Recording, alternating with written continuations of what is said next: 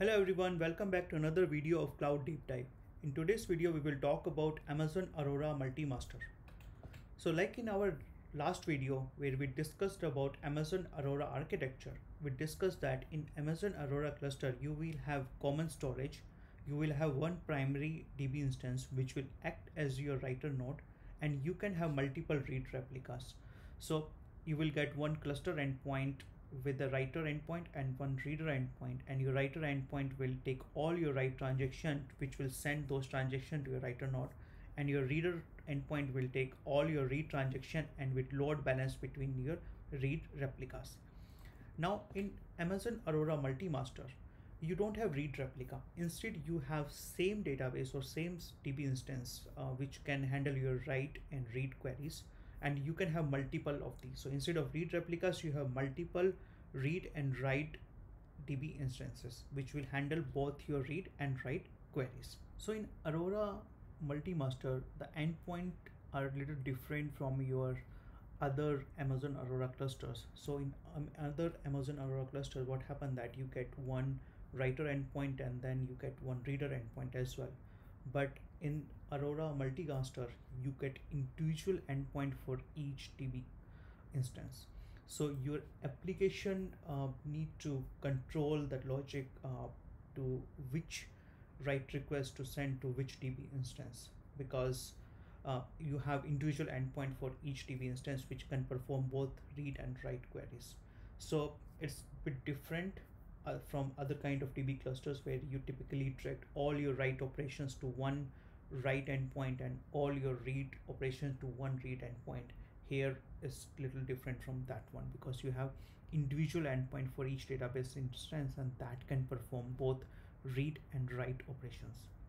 Another thing like in single master cluster you can have 15 read replicas but in this multi-master you can have four db instances at a time so at the time of recording it may go five or six in future but right now you can have only four db instances amazon aurora multi-master does not do any load balancing. And what do I, what do you mean by that?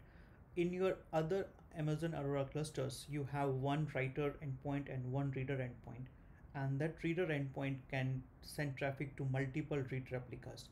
So any read transitions coming to the reader endpoint will be distributed across these read replicas. And that load balancing is done by that cluster. It takes care of all those stuff but in aurora multi-master because we have a single uh, individual endpoint for each db instance that load balancing does not happen that you have to uh, do at your application level so your application must implement its own connection management logic to distribute your read and write operation between these multiple DB and instance endpoints. Next, let's go and see how you can create a Aurora multi-master cluster. So for that, we'll go to the RDS console and we'll click on create database. In that, we'll select Amazon Aurora and there are two editions are supported for Amazon Aurora. One is MySQL, another one is PostgreSQL. So for this, we'll select MySQL because multi-master is only uh, supported by MySQL. If I go to the PostgreSQL edition, that multi-master is not supported. So in replications feature, you will get two options, single master or multi-master. In single master is same where you get one master node and multiple reader node. But in multi-master, you will get uh, multiple master nodes. Then you can provide a name, suppose I say test uh, credential will be auto generated it support the previous generation instance class We'll select that and under availability and durability now you have multi-AZ deployment in that you have two options one is like you can go with the multiple master nodes like multiple reader node uh, sorry writer node which provide you the high availability in case one goes down second will be available for your application. Or you can also choose an option where you don't want to create a secondary master node. So based on your requirement you can go with either one master node or you can go with the multiple master node.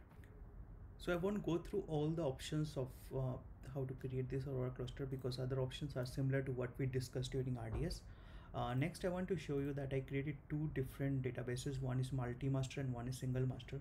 So let's first go to the single master where i want to show you that you get two endpoints one for the writer instance and another for the reader instance. So if you have multiple readers so you can still use the same endpoint to send your read request to those reader instances. In addition you will get individual um, endpoint as well for your writer and your reader which you hardly use in this case. When we go to the multi-master so you will get only one uh, endpoint. So if you see at the cluster level you will get only one endpoint. And this endpoint is always point to db instance with read and write capability.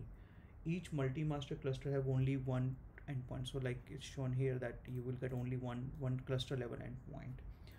Because like i mentioned in my video that applications in multi-master cluster typically include logic or they have to build their own logic to manage connection to specific db instance because this endpoint won't do any load balancing for you. You have to uh, add that logic or you have to use individual endpoints for these db instances to send your queries. So most of the time for multi-master uh, application does not use this cluster level endpoint. They use the specific db instance which is provided here. So the main difference if you see between single instance and uh, multi-master in multi-master you have multiple writer nodes whereas in uh, single master you have only one writer where and multiple reader nodes and in this case you'll get uh, two endpoints one for the writer and one for the reader. But in this case the cluster level endpoint is not used whereas application has to use the db level uh, endpoints for their write and read queries. So that's all about multi-master uh, cluster folks. Uh, if you have any question please let me know. I'll be happy to answer uh, if you like this video please hit the like button and share it with your friends. And uh, please do subscribe and please uh, press on the bell icon. I will be putting more videos uh, regarding aws in near future. Uh, thank you so much for watching. Thank you. Bye